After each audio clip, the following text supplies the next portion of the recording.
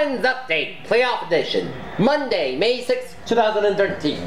The Bruins take a two games to one lead in this best of seven quarterfinal series with a 5-2 victory over the Toronto Maple Leafs. After dropping game two to the Maple Leafs Saturday night at the TD Garden, the Boston Bruins and the Toronto Maple Leafs travel north of the border to Toronto to Air Canada Centre to take on the Toronto Maple Leafs. And the Bruins are trying to correct their mistakes from like they did in game two. And the Boston Bruins got on the board first at 13:42 of the first period with an Adam McQuaid slap shot goal. Who's first on the playoffs with assists from Milan Lucic and David Krejci both got four assists in the playoffs, and it was one enough and in favor of the Bruins. And in that second period, Rich Peverley had a snapshot goal and assist from Jaromir Jagr. At 5.57 the second period was 2 to nothing in favor of the Bruins.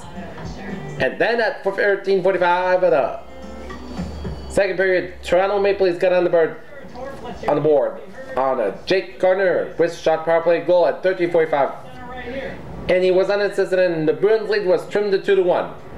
But then 50 seconds later at 14.35 at the third at the second period, Nate ported at a snapshot goal third season with assist from Milan Lucic and David Krejci again, and the Bruins lead is extended to 3 to 1. And the Bruins would extend that lead to 4 to 1 at 16.37 of the fourth period, of the second period on a Daniel Paille short-handed goal was unassisted on the goal and was 3 to 1, 4 to 1 Bruins through two periods. And then at 47 seconds of the third period, Toronto Maple Leafs trimmed the Bruins lead to 4-2 when old friend Phil Kessel on a snapshot goal and assist from James van Riemsdyk and Chris Franson and the Bruins lead was trimmed to 4-2. And then with a minute 17 to go in the third period, the Bruins put the dagger on the Maple Leafs on a wrist shot goal by David Krejci on the empty netter with assist from Nathan Horton and Milan Lucic, his sixth of the playoffs as the Boston Bruins now take a two games to one lead in this best of seven quarterfinal to the Eastern Conference with a five to two victory over the Toronto Maple Leafs. And the Bruins corrected their mistakes in game number two and focused on game three as they corrected all the mistakes from what they did in the game two on Saturday night. And Woods almost played very well on this Monday to extend the lead to two games one as the Bruins win game three, five to two.